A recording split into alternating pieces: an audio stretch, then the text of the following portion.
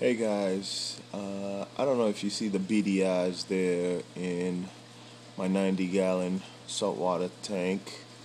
Sure, you see it. It's a crab that I actually picked up right in the middle, and I'm, I'm not talking about the starfish to the left or the clam to the right. I'm talking about the beady eye guy hiding right underneath the crushed coral and sand. If you guys can see him.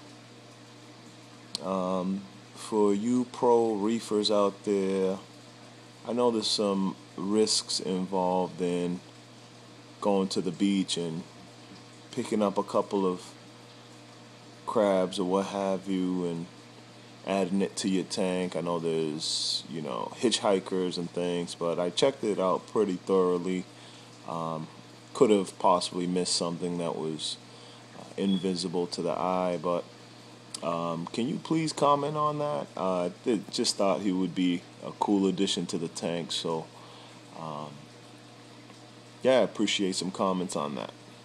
Okay, this is the rest of the tank, if you guys were wondering.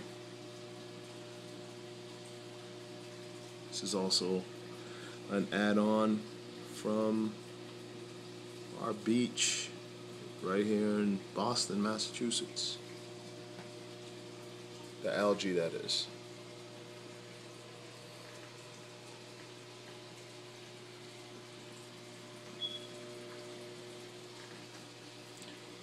A lot of live rock. Hopefully we can get good amount of corals in there working with each other and get a nice community tank going.